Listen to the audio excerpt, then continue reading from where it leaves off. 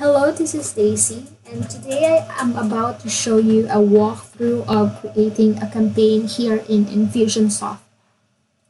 When you have created your account and logged in, this will be the dashboard you're going to see minus the summary or these values. Since uh, I am about to show you building a new campaign from scratch, we will start navigating to this burger menu under Marketing tab and click the Campaign Builder.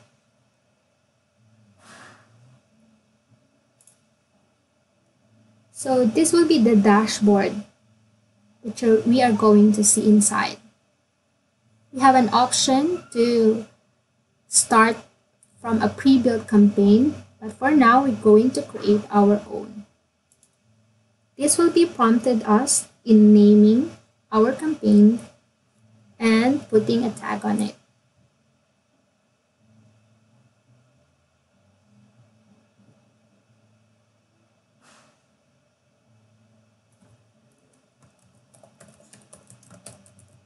Let's name this Billie Jean's birthday bundle campaign and then click save. Now we have a clean board to start. On this left side are the campaign tools. In what we are going to create today, we will be needing few tools. These are the tag, the sequence, and the note.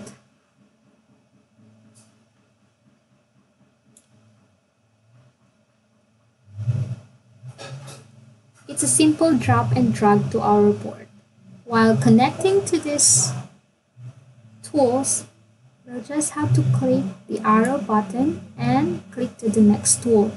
When it's green, it means that it is allowed to be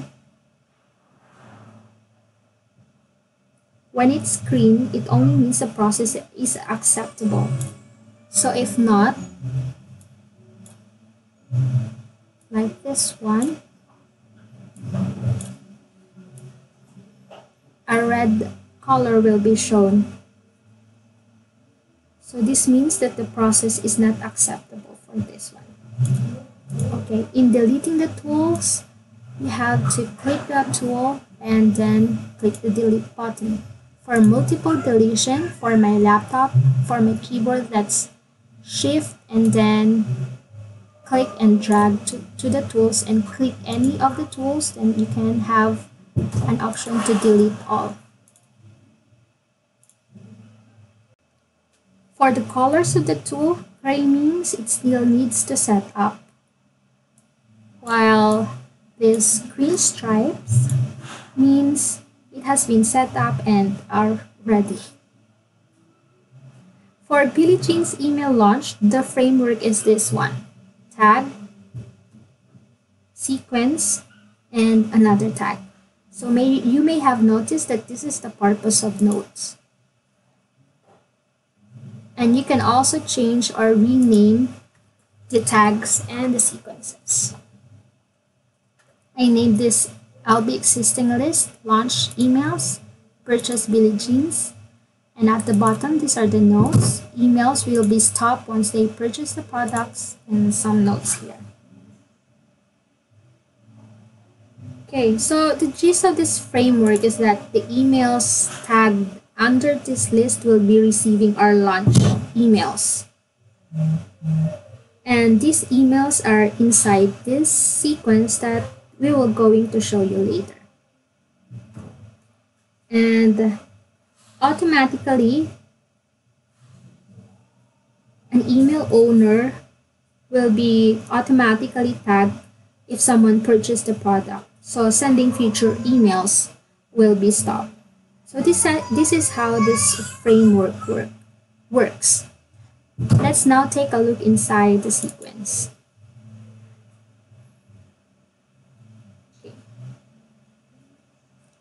We have seven emails for this campaign launch. Five, six, and seven. The tools that we need for this one are the delay timer and the email. We have connected this one from start to the delay timer to the email so on and so forth to the up to the seven emails. So if you want to create or copy multiple tools, again on my laptop, that shift, click and drag. And then you have an option to duplicate this. Again, let's shift and drag. And duplicate.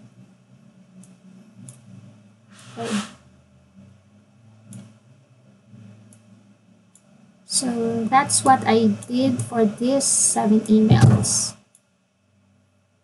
So I'm going to delete this one.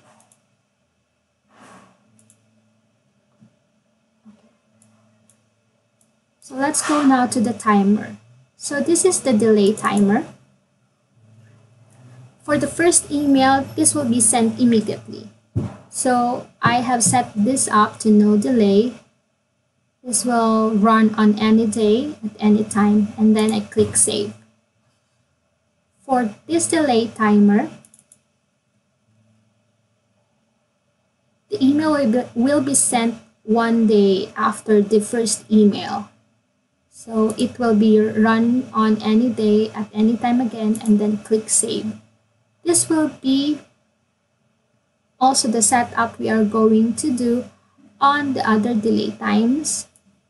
And we'll just adjust we're going to adjust the delays or the days uh, accordingly. For editing the email we can click view and edit. And this will direct us to this email dashboard Okay. Like any other new email dashboard, you can now copy and paste the headline, the subject headline, and the body. As you may have noticed, I have here the contact dash first name. So this is the uh, first name that we're going to be shown on the recipient's email. To do that, you'll have to click the merge contact field and click the first name. I'm going to delete this one here. While in hyperlinking uh, a text, you have to click and highlight the text or the sentence that you want to link. Click the chain button here and then uh, paste the URL here.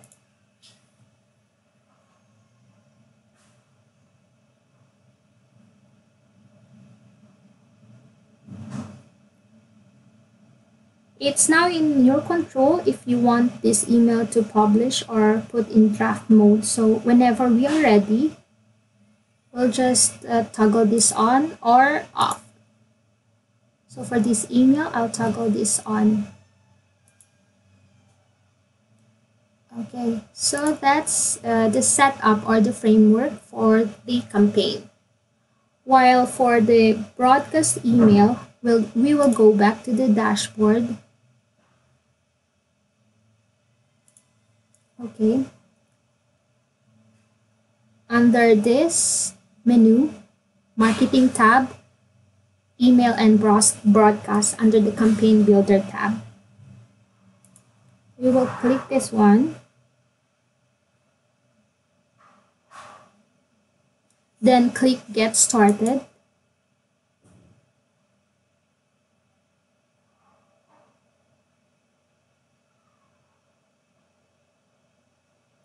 Since there are also options for the templates, we will be doing this from scratch. At the, rightmost top, we'll click the actions and then create blank email.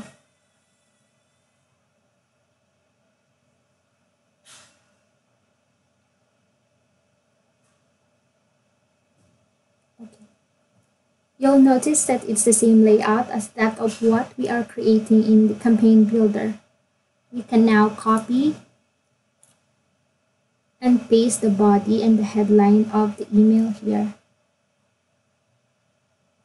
Okay, the only difference of this broadcast email from what we have created in the campaign builder is the delay timer. Okay, we cannot set up the de delay timer here in the broadcast email. So as you notice, the option here is not ready button, but review and send. After we click the button, this will immediately be sent out to the recipients. And the recipients will be manually tagged in here. So if you prefer to do it through broadcast email, you may have to set your alarm yourself in sending the other emails. And you'll have to remove those emails from the sequence that have already purchased the product. I think that could be possible if you have a smaller list but if you have a big one, in just sending emails will eat up most of your time. So again, that's it. We're done. I'm done. Um, giving you a walkthrough in creating a new campaign, a new email campaign in Infusionsoft. So thank you for watching and have a great day.